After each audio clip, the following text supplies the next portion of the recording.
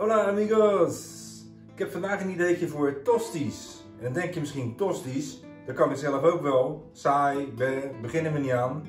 Nou, beginnen we wel aan, want het is echt heel wat anders als wat je normaal kent.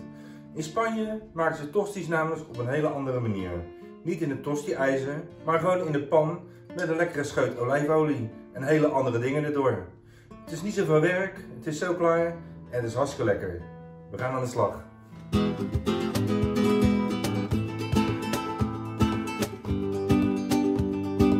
Voor die tosties. Ik ga twee tosties maken voor twee personen.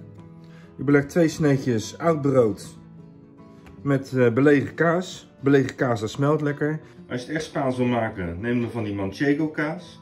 Daar leg ik uh, een paar plakjes chorizo op. Een paar zongedroogde tomaatjes. Die ga ik in wat kleinere stukjes snijden. En verdeel die maar over die boterhammen. Heb ik hier wat uh, zwarte olijfjes. Deze komen bij de Turkse supermarkt vandaan.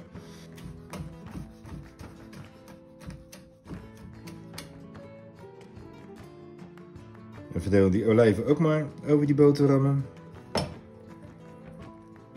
En als je een beetje van pit houdt, zoals ik, dan uh, voeg je nog wat schijfjes rode peper toe.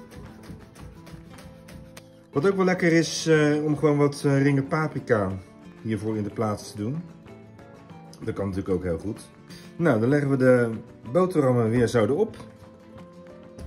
En dan gaan we even bakken. Veert een scheutje olijfolie in een pan.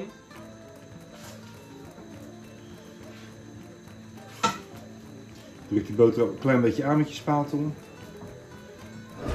Draai als de onderkant eh, lekker is gebakken, draai ze dan om. Zie je, ze zijn nu onder lekker goudbruin gebakken.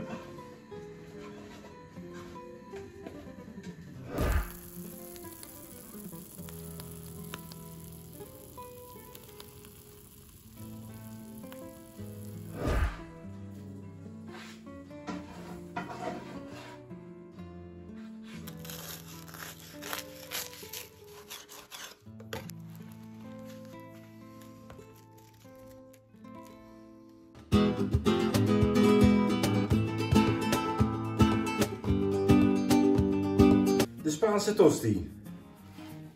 El tosti español.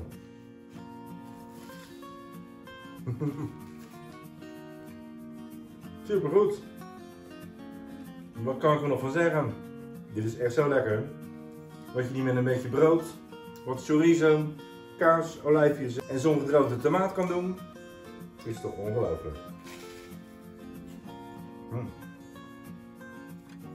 Echt heel wat anders dan de Nederlandse tosti die wij kennen met ham en kaas. Of alleen maar kaas. Nou. Weer een geslaagd receptje. Je kunt het receptje vinden op travelfoodblog.nl.